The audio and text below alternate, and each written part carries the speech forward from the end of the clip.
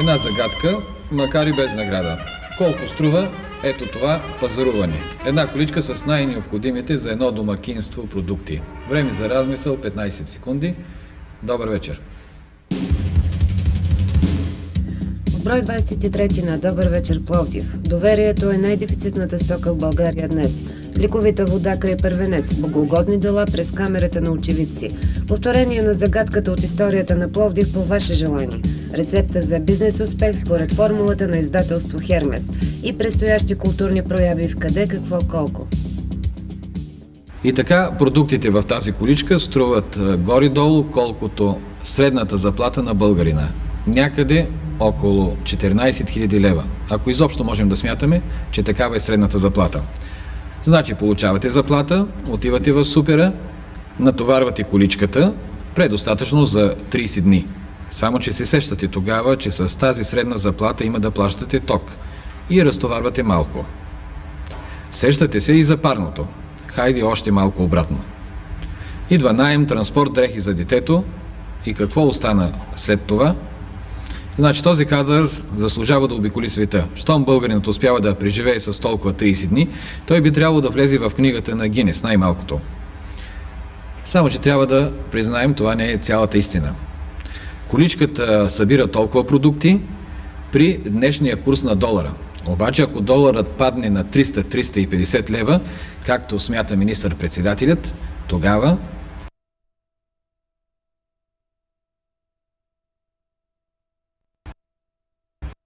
Само, че дали да вярваме на такива обещания и изобщо заслужава ли си да вярваме вече на някого?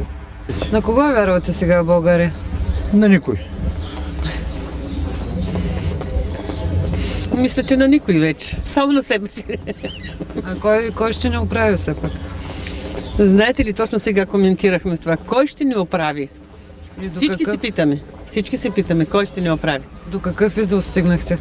Ами стигнах до извода на американския президент, не, не, му, не си спомням името му, този, който каза, когато в началото на демокрацията всички в Америка са се изтегнали, изтеглили парите, той се е обърнал към тях да се внесат парите, защото ще им публикуват имената. Ако, може би, ако направят и тук нещо, може би България ще оживее. Само на себе си, на никой друг. И разчитам на себе си. Право да я кажа, на никой вече не вярвам. На политиците? На политиците пък хич.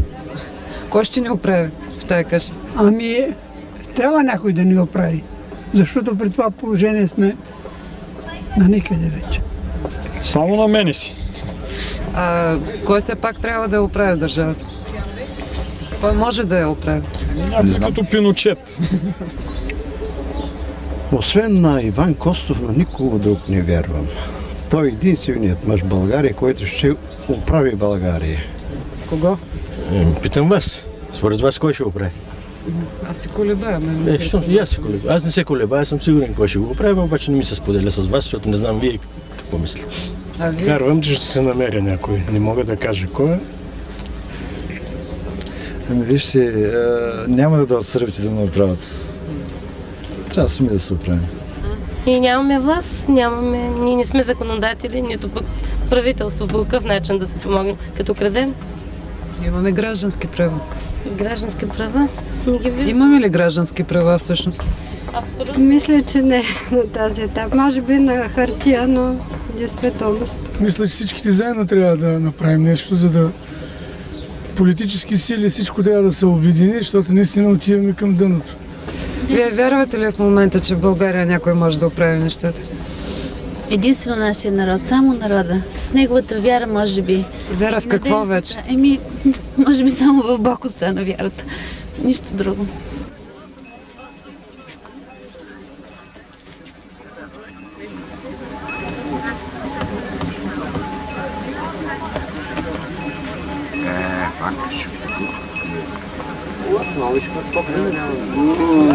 Чужите снима нагоре.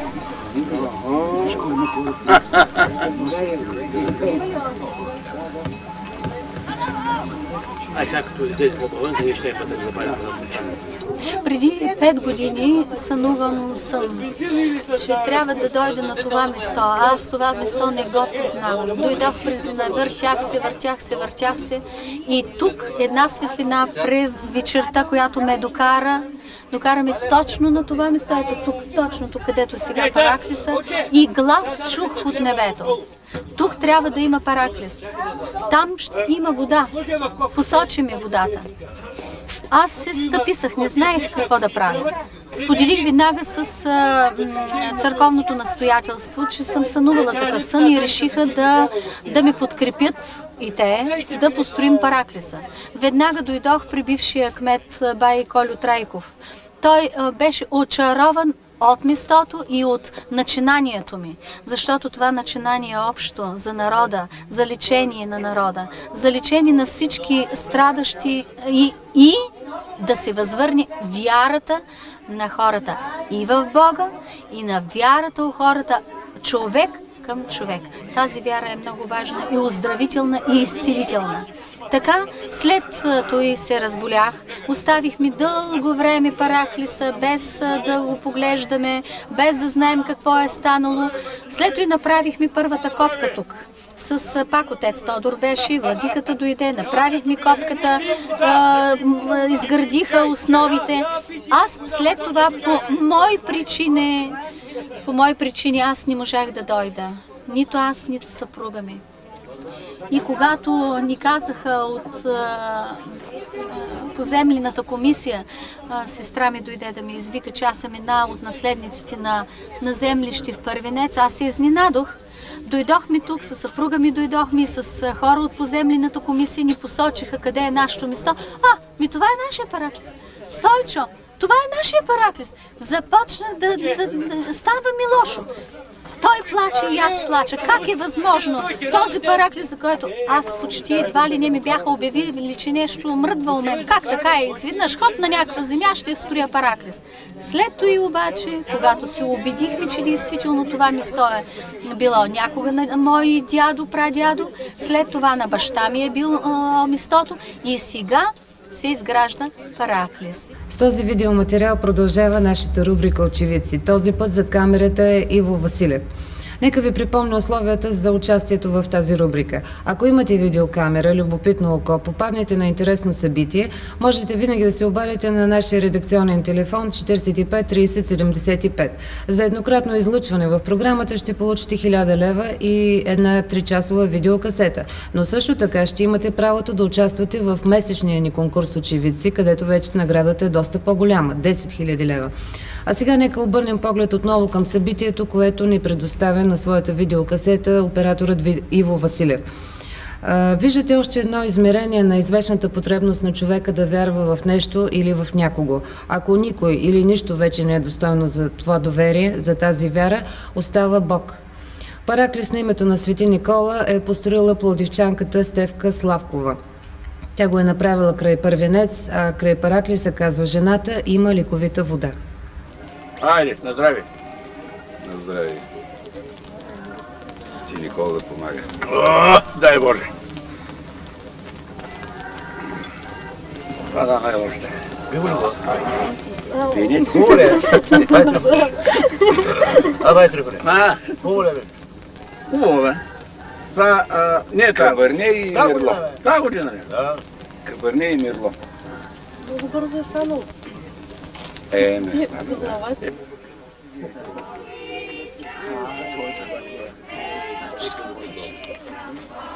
С децата. Да. И пише Георги и Милка. Вижте ли ги сваща? Добре, бе. Ето.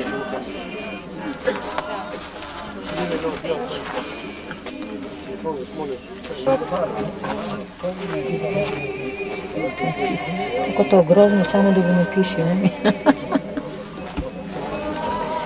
То на така се пише на дъска.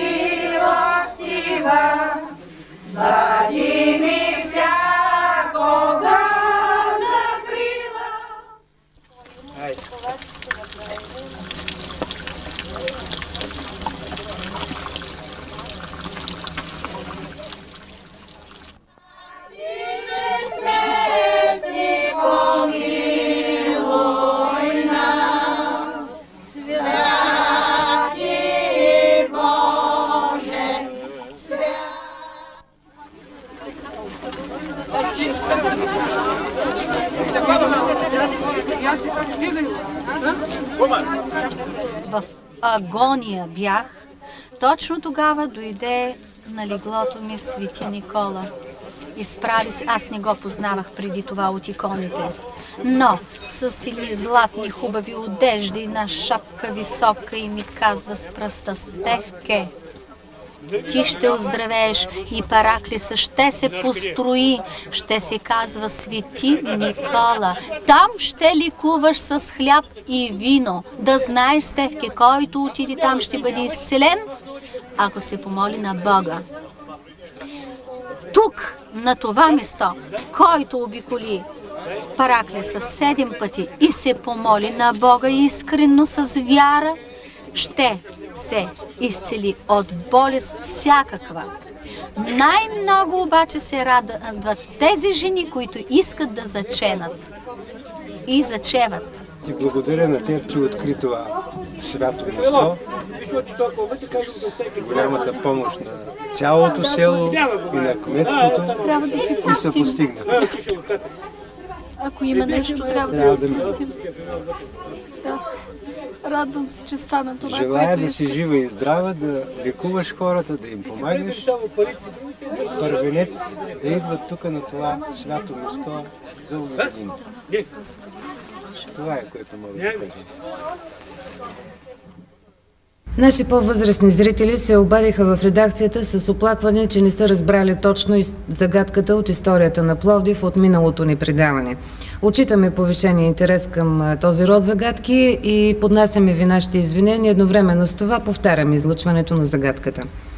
Виждате снимките на Иван Вазов, Константин Величков, Захари Стоянов, Петко Рачев Славейков, Стефан Бобчев и Михаил Маджаров. Всички тези творци са свързали живота си и професионалното си поле на дейност в един и същ период с Пловдив. Нашият въпрос е, кой е този период и кое точно е професионалното поле? На всички, които се обадят с верен отговор, ние ще подарим двутомника на Донко Дочев Пловдив между двете войни. А един от нашите зрители, определен с жреби, ще получи и награда от 3000 лева. Ще се зачитат всички телефонни обаждания. Номерът го знаете вече 45 30 75, направени до 16 часа в петък. В миналото ни предаване Стойо Вартоломеев, президент на издателска къща Хермес, разказа за издателството през петте години, които се навършиха съвсем наскоро. Сега отново сме го поканили. Какъв е поводът? Значи така, обаждат се зрители в нашата редакция и казват, навсякъде вестници, радио, телевизия пише за бедност, за проблеми, за криза. Няма ли в България един успял човек? Ние се надяваме, че този успял човек е Стоя Вартоломеев. Като казвам успял, ще си позволя да разкажа един личен спомен. Спомням си го преди 5 години и половина, примерно. Литературният критик Стоя Вартоломе- Вартоломеев продава книги на Сергия, за да докара някой лев, така за семейството. Сега той, значи, е президент на, може би, на най-голямото, както казахме миналия път, издателство в България.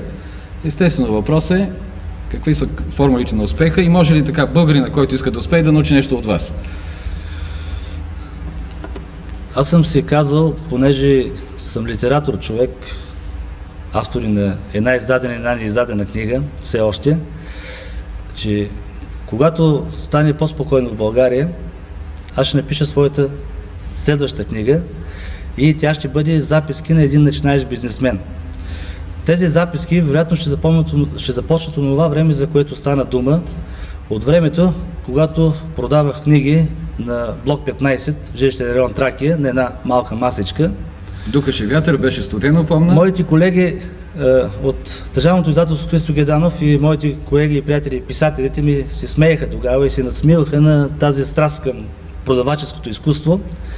А то беше продиктувано от една житейска необходимост, освен от нещо друго, надявам се от вътрешния подтик за реализация, но то беше продиктувано от това, че бях взел едно жилище, което струваше 18 000 лева, аз го бях взел с заеми 16 000 лева.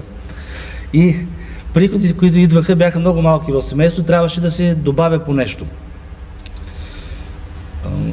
След това си давам сметка, че този период, който продължи някъде около година, това стоене на улицата, на щанда, това общуване с купувачите на книги, всъщност е било една велика школа за мен, като бъдеш издател, защото там ти влизаш в един непосредствен контакт, който няма как да го научиш. Те самите, самите читатели ме насочваха към тематиката, на, към книгите, които се търсят. Може да приема и това и не е самохвалство от моя страна, като се казва или като казвам, че може би е, така, моя успех е така е, американския вариант на успех на един бизнесмен, който започва от нула. Аз започнах от асфалта, така обичам да казвам. Е, наистина започнах от асфалта е, с е, така една идея за едно голямо българско издателство, с е, малко спестени пари от продажбата на тези книги в рамките на търговската стъпка, която се полага. И с това, че по това време все още имаше възможност, 1991 година есента, все още имаше възможност държавните печатници да правят отсрочка в плащането на книгите. Аз издадох първите си две-три книги с отсрочка от печатницата в плащането. Дадоха един месец отсрочка. Аз разбира се не можах да изпазя тази отсрочка и първата нова година, така моята голяма бъдеща фирма беше пред реален фалит. Аз ходех като лунатик из улиците на Пловдив. Всичко му беше криво. Света, приятелите, семейството. И най-парадоксалното, най-лудото в цялата тази ситуация е, че в момент на реален фалит аз чертая грандиозни програми за издаване. И до сега не мога да си обясня и до сега не мога да си обясня този феномен. Вероятно има нещо така. Бил съм осенен от тази идея, защото сега никога не бих предприел такъв риск, какъвто съм предприел тогава. Те бяха, те бяха и други времената тогава, с повече се мечтаеше и... В крайна сметка се оказа, че идеята, на която съм заложил, е много силна идея, много продуктивна идея. И тази идея всъщност създаде силния старт на издателство Хермес. Останалото обаче, по-нататъчният успех се оказа много по-сложен и по-труден, затова защото човек може лесно да измисли една идея и да спечели пари. След това може да се отегли и да харчи тези пари. Той може да ги вложи тези пари в друго начинание и да ги загуби. Или да ги спечели, или отвои. Оказва се, че е много трудно да се поддържа един непрекъснат статут на фирмата, която се ръководи, така че хем фирмата да изглежда добре, хем да се развива, хем да си купуват офиси, хем да си купуват компютри, хем хората да получават добри заплати, хем да си прави добра реклама. Всичко това се оказа много сложно и много трудно и ние имахме един втори кризисен период някъде може би 93-та година и сента, който преживяхме, разбира се, успешно, за да дойде вече а, така по-цялостната ми идея за издателството, за неговата структура, за хората, които ще работят в нея, за назначаването на тези хора. Аз съм казвал, че има 9 златни правила на издателския бизнес и твърде, че ги познавам добре.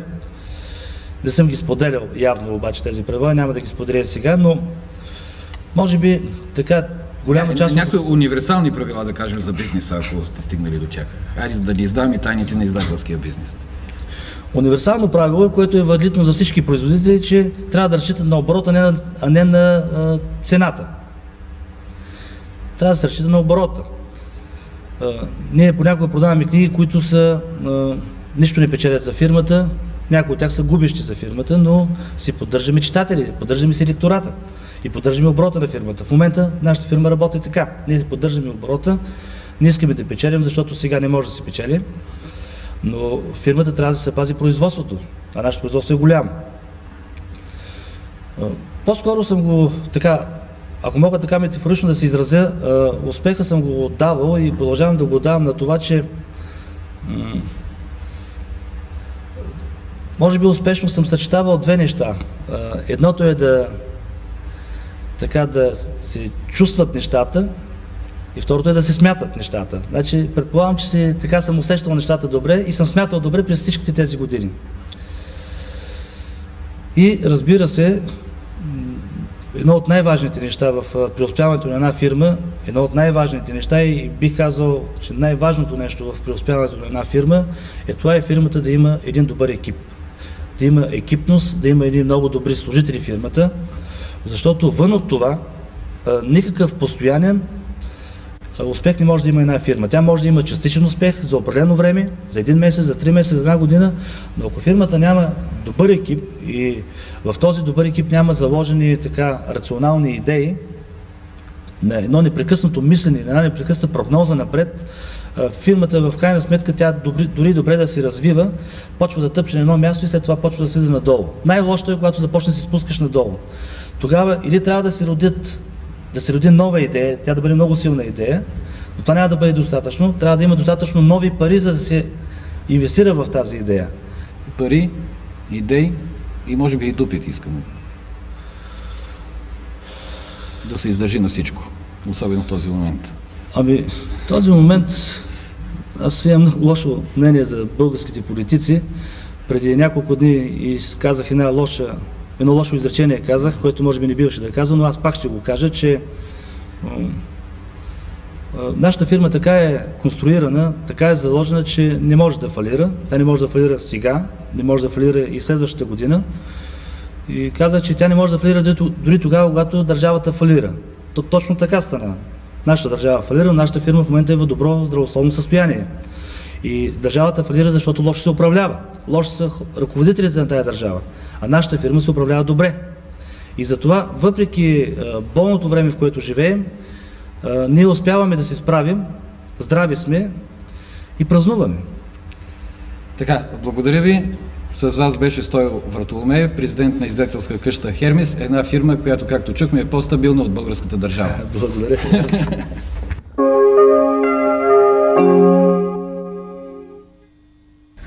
Коледно настроение са културните акценти тази седмица. В галерия Възраждане се откри коледна изложба под надслов Рождество Христово. На Арт Базар художници от Пловдив, София и Пазарджик представят малка пластика, керамика, сребърни накити. А на 13 декември от 18 часа е творческата вечер на писателя фантаст, поет и издател Агоп Малконян. На книжен базар ще се представи поредицата класическа поезия на издателска къща Ерато. Преходния период между средновековието и модерните времена ни връща една друга изложба. Португалският крал Дон Жуао II, живял преди 500 години, е познат като една от водещите фигури в историята на страната, дала на света познанието за неговите измерения.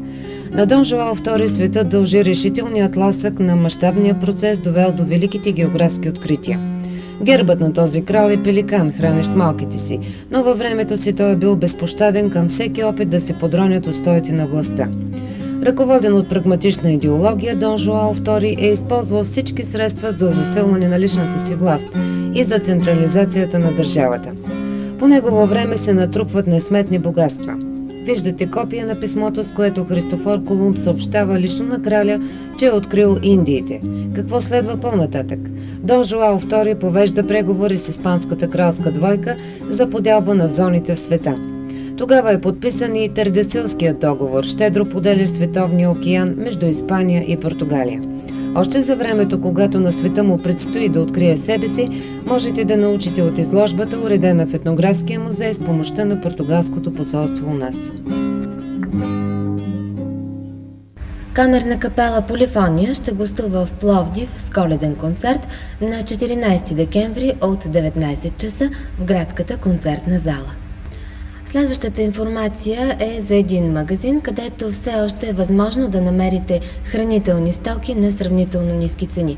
Магазинът се намира на улица Зефир, номер 8, до стадион Христо Ботев. Така оптимистично завършваме програмата днес. Успешни покупки за коледните и другите празници.